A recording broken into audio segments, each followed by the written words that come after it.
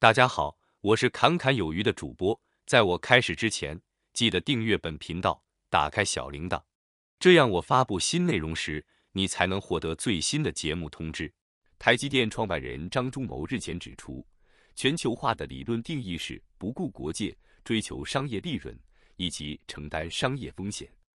不过，每个人都有家与祖国，不能期待每一个商人、企业家在别的国家、地方发展。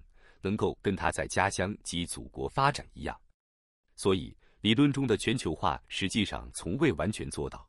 就算是到了二零一零年代，也只是做到了是有史以来最高度的接近全球化。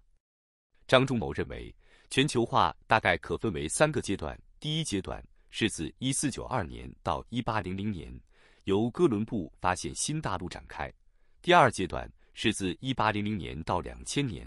工业革命影响开始加剧，第三阶段则是两千年以后。其中，第一及第二阶段的全球化是由欧美国家主导的，第三阶段的全球化则是由非西方国家、非白种人主导。这三个阶段当中，促使全球化的原因只有柏林墙倒塌是与地缘有关，其余都与科学技术有关，如数、绘画等。在第三阶段当中。全世界成功坐下来谈贸易，促使世界贸易组织 WTO 成立。台湾与中国陆续加入 WTO，也是全球化重要的地缘事件。张忠谋表示，全球化带来的好处是让几十亿人民脱离贫穷，几乎所有国家的生活水准都有大进步。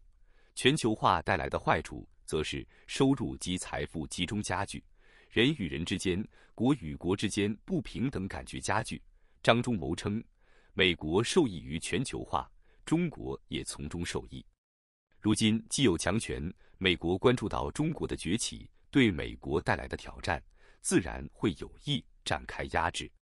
因此，美国引进台积电也成了自然而然的事了。但是，日前台积电公开表示，由于能在半导体设施中熟练的安装设备的专业人员数量不足。因此，从台湾调派人力支援，美国 N 四制成量产时间预估将推迟至二零二五年。此举引发当地工会不满，表示当地劳工四十年来为英特尔建造和装配晶圆厂，是经验丰富的劳动力。台积电是利用进度延迟当借口，想引进可支付较低薪资的外籍劳工。台积电对此回应称，调派人数有限，且为短期支援。没有要以外籍工作人员取代当地工作人员，持续优先考虑在亚利桑那州聘用当地人员。有海外媒体报道称，美国工会领袖说有英特尔建厂经验，但其实英特尔已长达七年未建新厂，近年为应对美国制造计划才启动扩产，因此美国半导体厂务、设备、装机相关技术人力需求相当短缺。半导体设备厂商表示，台积电海外扩产最可怕的事情终于到来。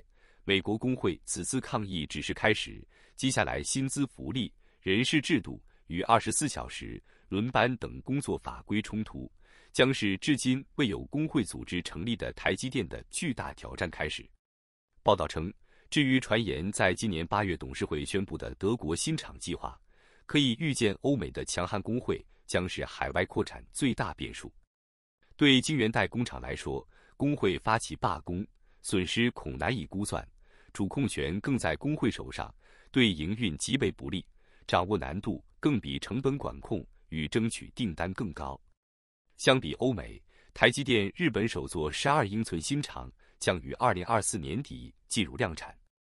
近日有市场消息传出，台积电熊本专机将八百八十八名员工与家属送往熊本。日本熊本县菊阳町宣布，为了协助台积电来熊本的员工以及家属约七百五十人，其中有二百人将住在菊阳町，政府将提供多国语言翻译的咨询协助服务，并在市政厅设立了外国人专用的咨询窗口。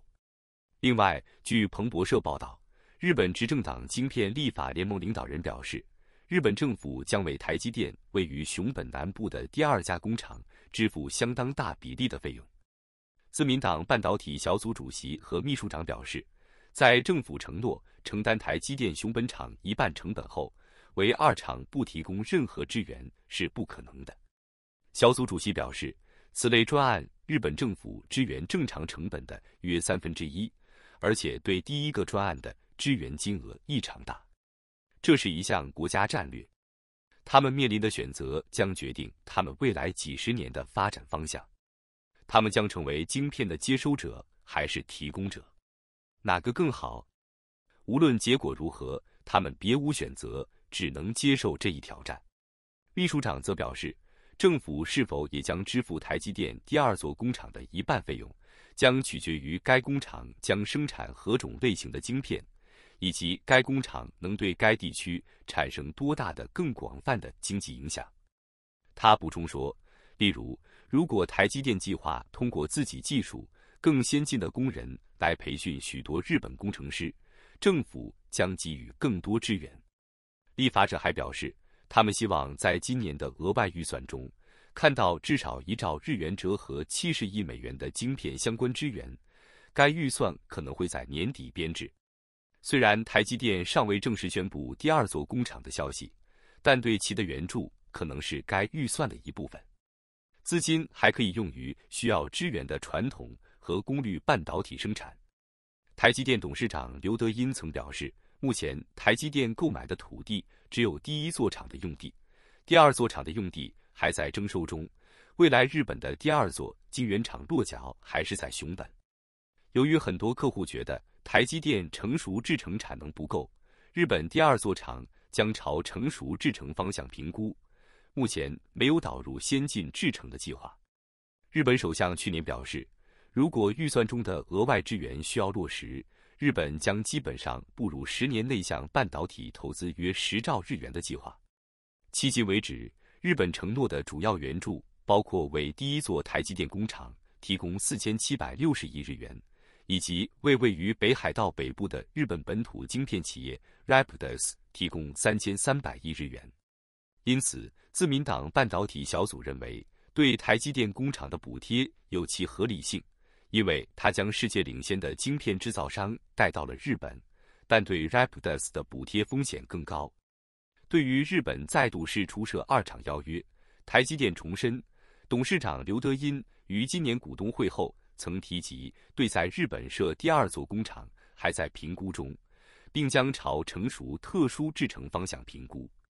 总体来看，在新的全球化的议题上，台积电创办人张忠谋则深刻指出，近年来中国大幅补助科技产业，并表示希望未来几年内达到晶片的自给自足。而美国为压制中国的发展，开始对中国发起贸易战。